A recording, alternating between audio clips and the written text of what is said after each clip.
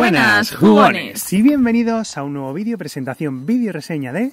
Misión Marte, el juego espacial. Para me acompaña Francis y Diego en servidor vamos a hablaros sobre este Misión Marte, el juego espacial. Un juego de 1 a 6 jugadores con partida de duración aproximadamente de 15 minutos y a partir de 8 años.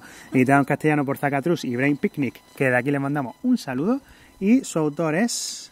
Ang Ping Liu y diseñador Manu Palau. ¿Vale? Bueno, pues resumidamente, ¿qué tenemos? ¿Un filler de qué? O sea, ¿qué, qué nos encontramos en este filler? Es un filler en el que tenemos que hacer más rápido que el resto la, el, poner La el combinación, número- ¿no? Sí, la combinación, el número de tripulantes, el número de rayitos de luz, el número de energía, el número de tal y de tal y de tal, que nos indica eh, los, Los dados. dados en cuatro rondas y al final de esas cuatro rondas, el que más puntos de victoria tenga, pues será el ganador de este Misión Marte. Vamos, vamos a ver cómo se juega y ahora damos nuestra opinión. Bueno, pues ya estáis viendo el despliegue de- del juego y bueno, eh, vamos a poner para el setup inicial, pondremos estas cartas aquí de, las muestras, los dados, los tokens de, puntuación, que tenemos la, fichita de Marte y las estrellas, y luego tenemos aquí diferentes sets de cartas con eh, en el lado izquierdo de, de abajo con una letra. Cada jugador va a coger un set de esas cartas, que son eh, seis cartas y además en esas cartas vamos a tener los símbolos que aparecen aquí repetidas siete veces, ¿vale? Entonces esas cartas, cada jugador tendrá este macito de cartas y se va a jugar a lo largo de cuatro rondas. Cuando se juegan esas cuatro rondas, que tenga más puntos de victoria sería el ganador. ¿Cómo se juega? Pues se tiran los dados y se colocan eh, cada dado en su color correspondiente. Y esas son las cartas que deben estar boca arriba, que- lo- los simbolitos que deben estar boca arriba, eh, por las que nos piden. En este caso tendremos que tener cuatro tripulantes boca arriba, dos de agua boca arriba, cuatro manzanas de, alimentación eh, boca arriba, cinco de oxígeno y dos de energía. Entonces, como estamos viendo en estas cartas, tenemos pues esos símbolos en pequeño, y como hemos dicho, tendremos siete de cada uno. Pues entonces, vamos a ver, yo necesito dos de agua, lo cual yo puedo coger una carta y ponerla boca abajo y tapar lo que quiera. Luego, pues ahí ya tengo dos, dos manzanas y aquí digo, bueno, pues aquí voy a poner esto por aquí. Aquí ya tengo mm, dos de oxígeno, necesito cinco, necesito también cuatro de, de esto, ¿vale? Aquí ya tengo cuatro, otras cuatro necesito cinco, ¿vale? Imaginemos que, pues, que esto lo tengo ya casi, lo voy a poner eh, de esta manera, así, ¿vale? Con lo cual, si creo que ya lo tengo, diría que lo tengo, todo el mundo para y se comprueba. En este caso yo tengo cuatro manzanas, correcto, cinco de oxígeno, correcto, dos de rayos de energía, también correcto, cuatro tripulantes y dos de agua. Como es correcto y he sido el primero en hacerlo, me cogería una fichita de Marte. Los demás jugadores, si han conseguido como mínimo tres eh, recursos de los que nos están pidiendo correctos mm, puestos en las cartas, pues se llevarían una estrellita que equivale a 5 puntos.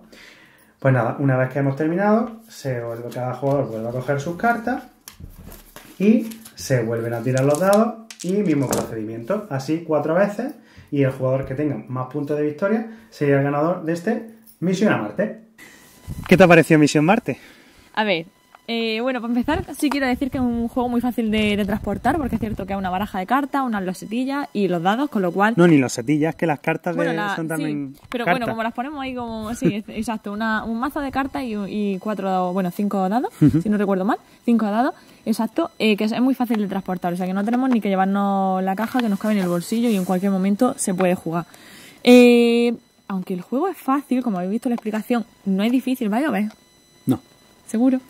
Aunque, o sea, habéis visto la explicación y no es complicado, pero sí que es difícil eh, conseguir en ocasiones hacer la, la combinación que te están pidiendo los, esos dados, ¿no? A ver, Porque- que, re- a ver, realmente, o sea, es un juego que cuando ya juegas varias partidas, como que te resulta mucho más fácil hacerlo que la primera vez, porque cada set de cartas, como habéis visto en, en la explicación, pues tiene un- un- una letra. Entonces, cada uno tiene esas seis cartas y en, en el total de esas seis cartas tienes siete recursos de cada tipo. O sea, Sí. que tú sabes siempre... ¿Cuántos a te ten- sobran, no? ¿Cuántos te tienen que sobrar? Exactamente. Oye, de pues si ya pongo esta boca abajo y necesito seis tripulantes y ya estoy poniendo uno boca abajo, pues ya sé que no puedo poner, no puedo tapar más, ¿no? claro, pero es cierto que a lo mejor está en una esquinita o está en un centro, entonces tienes que ver cómo lo tapas para poder usar un recurso que es el único quizás de esa carta que sí te hace falta. Mm, y a, mí también me gusta mucho el tema de, ir poniendo las cartas una sobre otra tapando solo un cuadradito que me hace falta, luego es que quiero tapar este cuadro y este de aquí, pero no tengo otra carta para taparlo. Ahora tengo... Porque si muevo esta carta es que estoy tapando esta otra cosa que necesito taparla. Es como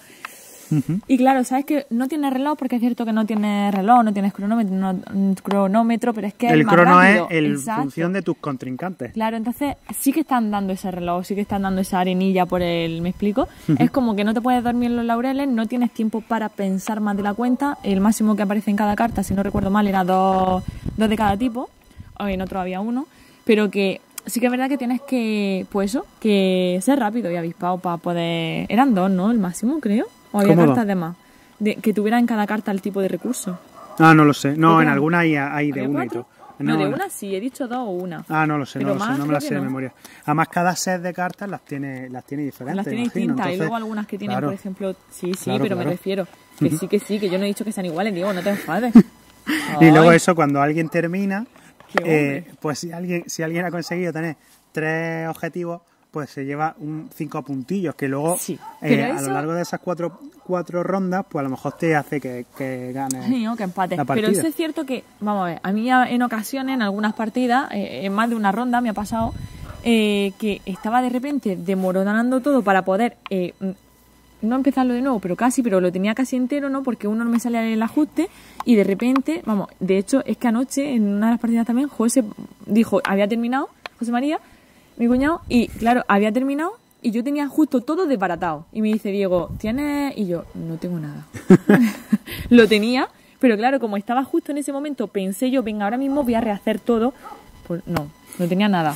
Y realmente sí que lo tenía dos segundos antes. Entonces, es pues eso. Estar muy avispado. Luego el tema de la escalabilidad del juego, pues, a ver, cuantos más jugadores como más difícil, porque más difícil porque tienes más competencia y, probablemente, pues, o sea, es más, más probable que si estás jugando contra cinco, pues de esos cinco alguien lo haga más rápido que tú que si lo estamos jugando tú y yo. Sí, pero es cierto que tus cartas son tus cartas, nadie te las va a quitar, las cartas objetivos son de todos las mismas, con lo cual da igual, realmente solitario a mucho, ¿vale? Que puedes jugar a uno, a dos, a tres, claro, como multisolitario. Mm, mm, todo es, simultáneo, o sea, todos estamos jugando, no hay entre turnos, un filler. No afecta a tu juego, pero sí que es verdad que hay más posibilidades, claro, cuantos más, pues más opciones de que algunos sean más avispados que tú y que... Pero que lo, que quiero, lo que quiero decir es que es un filler de, libro, ¿no? O sea, un filler que se lo pone a cualquier persona, a, tus padres, por ejemplo, y le dice esto es tapando y, tienes que quedarse boca arriba estos, estos cuadros. Y entonces como, ah, pues y, se, y, les va a entretener. Claro, sí, sí, aunque no lo hagas con la carrerilla de decir que me...